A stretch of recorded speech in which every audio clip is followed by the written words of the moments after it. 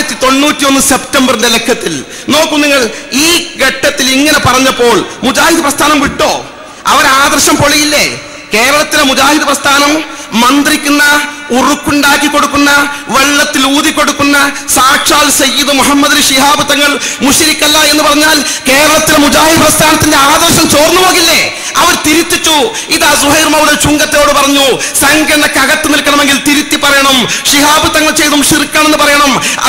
മുഷിരിക്കാണെന്ന് പറയണമെന്ന് പറഞ്ഞുകൊണ്ട് പച്ചയായ രണ്ടായിരത്തി ഏഴ് മാർച്ച് ഇരുപത്തി മൂന്ന് രക്തം വിചിന്തനത്തിൽ സുഹൈർ മൗലവി പേജ് നമ്പർ ആറിൽ തിരുത്തു കൊടുക്കുന്നു. ഞാൻ അദ്ദേഹം മുഷിരിക്കല്ലെന്ന് പറഞ്ഞ തിരുത്തുന്നു. അദ്ദേഹം മുഷിരിക്കാണെന്ന് പച്ചയായി പരസ്യ പ്രസിദ്ധീകരിച്ചിരിക്കുന്നു.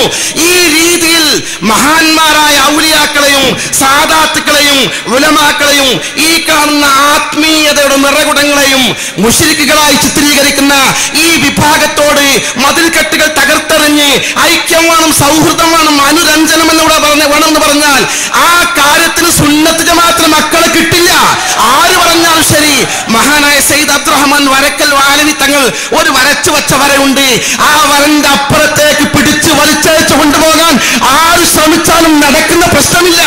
ഇല്ലെങ്കിൽ സമസ്ത കേരള ജമ്യുത്തലമ ഇത്തരം ഐക്യത്തിന് ചില ആളുകൾ രംഗത്ത് വന്നപ്പോൾ കൊടുത്തൊരു മറുപടി ഉണ്ട്. നിങ്ങൾ ഞങ്ങളെ മുസ്ലിമാണെന്ന് അംഗീകരിക്കുക. ഞങ്ങൾ മുസ്ലിക്കുകളല്ലെന്ന് പറയുക. ഞങ്ങൾ മുസ്ലിമീങ്ങളാണ്. മുസ്ലിക്കല്ലെന്ന് പറഞ്ഞാൽ ഐക്യത്തെ കുറിച്ച് ആലോചിക്കാമെന്ന് സമസ്തയുടെ പൂർവിക നേതാക്കന്മാർ കൊടുത്ത മറുപടി ആവർത്തിക്കട്ടെ. ആദ്യം ഐക്യത്തിന് വേണ്ടി ശ്രമിക്കുന്നവർ ഈ സുന്നത്ത് ജമാഅത്തിലെ ജനകോടികളെ പാണക്കാട് സയ്യിദ് ഹൈദലി ഷിഹാബ് തങ്ങൾ ഉൾപ്പെടെ സയ്യിദുൽ ജിഫ്രി തങ്ങൾ ഉൾപ്പെടെ ആലിക്കുട്ട് ഉസ്താദ് ഉൾപ്പെടെയുള്ള ഈ മഹാത്മാക്കൾ മുസ്ലിക്കല്ല മുസ്ലിമാണെന്ന് പറയാൻ ഒരു പ്രസ്താവന കൊണ്ടുവരാൻ നിങ്ങൾക്ക് സാധിക്കുമോ? സാധിക്കില്ലല്ലോ. എന്റെ പ്രിയപ്പെട്ട ഒരു ഒറ്റ കാര്യം കൂടി ഞാൻ പറയട്ടെ. ചില ജനപ്രതിനിധികൾ പ്രതിനിധികളുണ്ട്. അവർ മുജാഹിദ് പ്രസ്ഥാനത്തിലെ സമ്മേളനത്തിൽ പോകുന്നു.